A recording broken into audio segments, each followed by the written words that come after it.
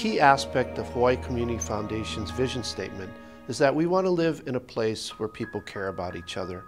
Pillars of Peace was designed and fashioned to encourage people to remember our sense of aloha and to practice compassion and to think about justice for all. The elders are kupuna in the global community. Bringing the elders to Hawaii seems like such a natural thing to us. You know, in this community that we live, kupuna are revered. We welcome you with a chant in our Hawaiian language. Love arises at your arrival. Welcome. As remarkably different as everyone says we are, at the root we're really just, we have so much in common. And so how do we share all those lessons of history and then learn from them and build on them? So we bring world leaders to Hawaii. But we also expect those world leaders to listen and hear about Hawaii's complex history so that we can have a fuller exchange of ideas. As issues become more multifaceted and complex, ethical leadership becomes even more important because people are looking for authentic leaders who share their values and can sit down together and find solutions to very, very difficult problems if you believe in the infinite worth of human beings, then when, when that is undermined, uh, you can't just sit uh, quietly. It would be a very insensitive person who would look at what is happening around you and say, okay, I'll deal with it uh, uh another time. You can't do that and you can't afford it. The business leader has as much responsibility as a political leader has. They have influence, they have challenges. And so when you talk, for instance, about sustainable development or climate change, there's no way for the world to deal with that unless the business community, the NGO community, and the political leadership all together do what's right. One thing that we can take out that seemed to be unifying for that amazing trio of folks is their uh, understanding that they probably went through a journey where it started out as philosophical, it became real, and then they had to have the courage to decide whether they were going to take it someplace else at their peril. And they all did that.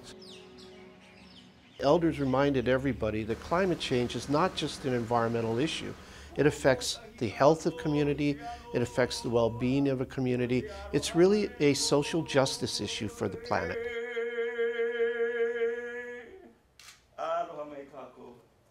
We are all going to bear the consequences of our greed, of our devastation, and unless we find a way of getting people to understand that this is a moral issue, an issue about whether we want to survive as a species or not.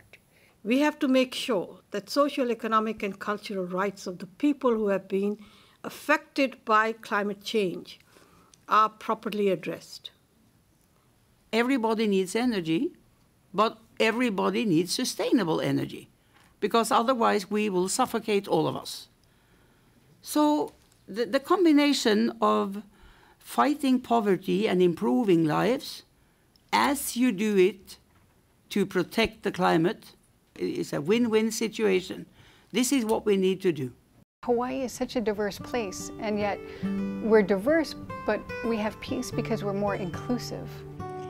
You know, coming from a place where people are so divided and there are so many reasons to hate each other, that they find. It seems so refreshing to be amongst people who enjoy their diversity, who celebrate uh, their diversity. Uh, I think it's so precious. I, I, I really, really feel that this is so precious that you should, you must guard it. The Pillars of Peace program, and especially the elders who just visited, encourage the students to actually help be a part of that change for the future. You can learn that it is possible through political action, activism, policies, democracy, to move things in the right direction. For this world to be a world that is going to survive, and have no war. For this world to be a world where we begin to share more equitably. The world is in your hands. When they said that like they have that much faith in us, that was like a, kind of like a push. So it was kind of like a push in which we felt like, oh my God, if they have that much faith in us, maybe, just maybe, we're actually going to be able to do what they actually do us that we can do. What the Pillars of Peace does is allow us to take seriously this notion of peace.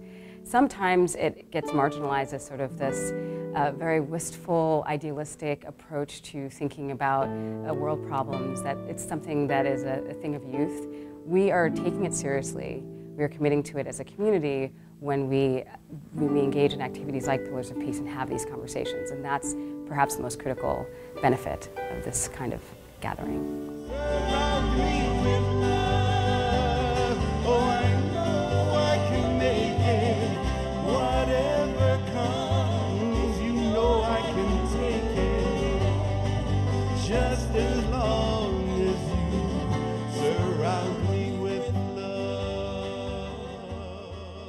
The work goes on.